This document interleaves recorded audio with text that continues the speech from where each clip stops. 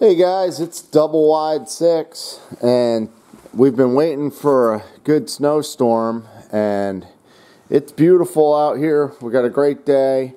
I have a new snowblower we're going to try out, so we'll see how that works in today's snow. This is a real heavy, uh, packable snow, and I'd say, I don't know, just from the looks of things, about eight inches, maybe a little more.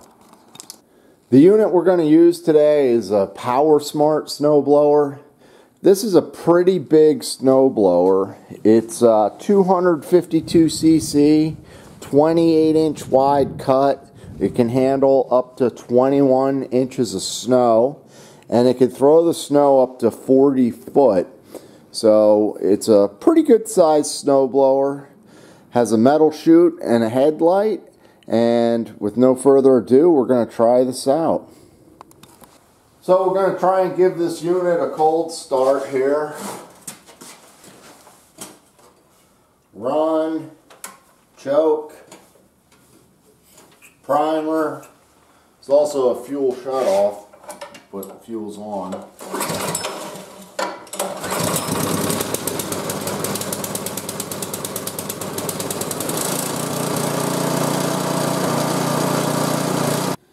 This is the model tested in the video.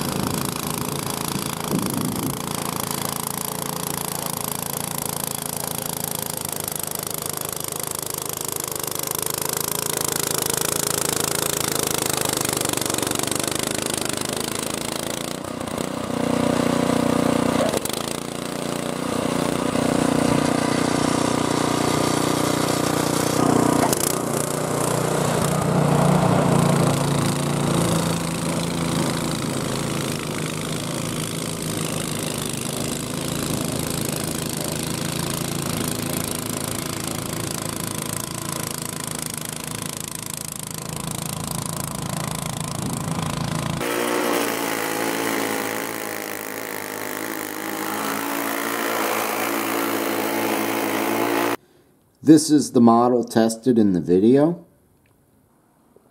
Well, we're going to wrap this one up, guys. I thought the machine did a good job. The snow today is really packable, heavy, wet snow.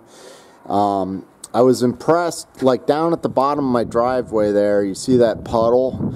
We went through that and I, I did that on purpose because uh, sometimes belts will slip. Maybe the drive won't work if you go through uh, puddles like that with snow blowers. But this unit didn't have any issues um, going through that puddle, and uh, it did a good job throwing the snow. Um, I didn't see 40 foot Uh, that may be with a powdery snow. Today's snow, as I said, was really wet. Um, overall, I, I like the unit. I thought it did a good job, and it's it's at a you know a lower price point compared to a lot of the other manufacturers. It is assembled in China, so uh, you want to make sure that you know you check all the bolts and everything. And it might be a little harder to get uh, customer service compared to some of the manufacturers, and that's part of the trade-off that you get with uh, price. This one is uh, about a 7 horsepower model. I think it's 252 cc it says. So, uh, you know, it's definitely a good size unit. I had tested Power Smart's 212 cc 24 inch snowblower, and uh, I'll link that down below this video. I found that snowblower to be very powerful and a little bit easier to handle. So the, the trade-off with the smaller one is it's a little easier to turn, although this one has the power steering as well as the 212cc that I tested. And basically what that means is when you try and turn, one wheel slows down. This one just about kind of brakes a little bit and the outside wheel as it pivots turns a little faster. So it makes it easier to turn um, which I found pretty nice. Wanted to mention one other thing with the controls. This unit has a throttle so you can power the unit up and down as far as RPM, where the 212 cc unit that I tested about a year ago did not have that throttle. So uh, that's a nice feature, and I just wanted to mention that in the video. One other thing just to note, I put the unit up in the service position just to take a peek inside at the transmission. I know some of these Chinese units have plastic parts and transmissions that uh, will wear out over time. Where I'm happy to report this unit has a really nicely machined metal transmission. Okay, it runs on a friction disc and you can see there's beautiful machining down there. That looks great.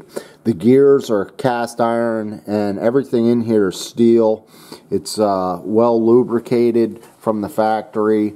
And I also noticed that the belts on this unit they are uh, cog belts. So you can see the little uh, gear cogs on them and both pulleys the auger and drive pulley they also have cogs on there, and that's a really nice feature on snowblowers because when they get wet, like when you go through puddles, uh, they won't slip if the belts are cogged like that. So I just wanted to point that out. So that wraps this one up, guys. You'll have to let me know down in the comments what you thought of the performance of the unit, and uh, I'll put a link to the unit as well. Thanks for watching. Have a good day. Oh, honeybee. Come on, girl. Got a new puppy here.